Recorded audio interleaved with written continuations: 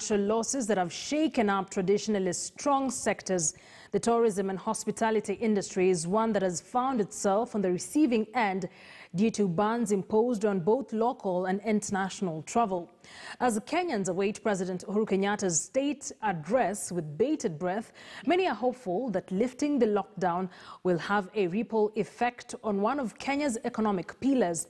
George Maringa has more on the sunken state of affairs in the tourism sector. That the COVID-19 pandemic has turned beaches and hotels into ghost towns is not a secret. At the coastal city of Mombasa, the waves gently billow to the shore march to an empty reception as compared to days before the pandemic where thousands of tourists thronged the beaches.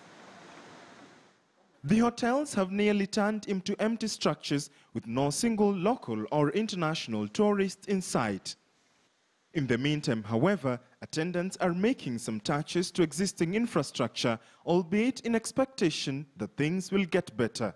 However, for managers such as John Guaro, the optimism levels are lower as they scratch their heads on ways to stay afloat during the pandemic.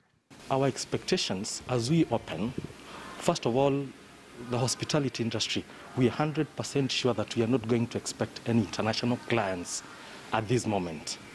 Probably it's going to pick up as we near November, December.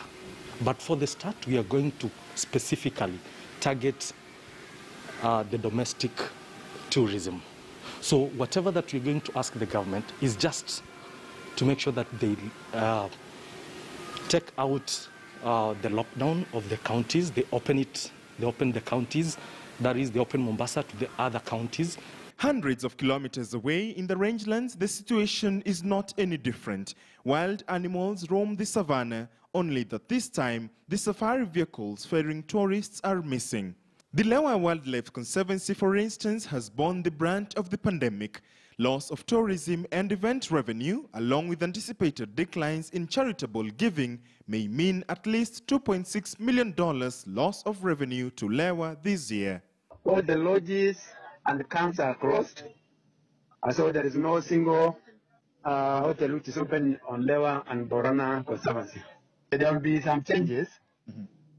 Uh, these changes can be what, what, areas which are going to be affected is the areas of uh, mass tourism. You know, uh, that kind of areas of mass tourism, uh, that, that kind of environment is going to be affected. But areas which we expect a lot of boost in terms of tourism and travel is in the areas of rangeland, in the areas of conservancies, in the areas of uh, ecotourism, where, you know, the people, the number of people traveling, the people handled in those kind of facilities are, are few. To cushion tourism, the Kenya Wildlife Service has put in place measures such as reducing the park entry fees to all Kenya Wildlife Service parks and reserves for all categories of tourists. There shall also be health and safety protocols to be followed moving forward. According to tourism CS Najib Balala, more needs to be done if tourism should stay afloat. Until we build infrastructure and attract investment and investors to come and develop these facilities. So we are going to, in the next three months, we're going to develop uh, a, a master plan very clear and working with the governors and signing MOUs. The most important thing for governors is that how do they benefit? And that will be the engagement we are going to engage with them. All eyes are now on President Uhuru Kenyatta ahead of his address. This even as experts warn that reviving the tourism, hospitality and hotel sectors will also depend on measures by other countries globally. George Maringa, KTN News. I want us to take a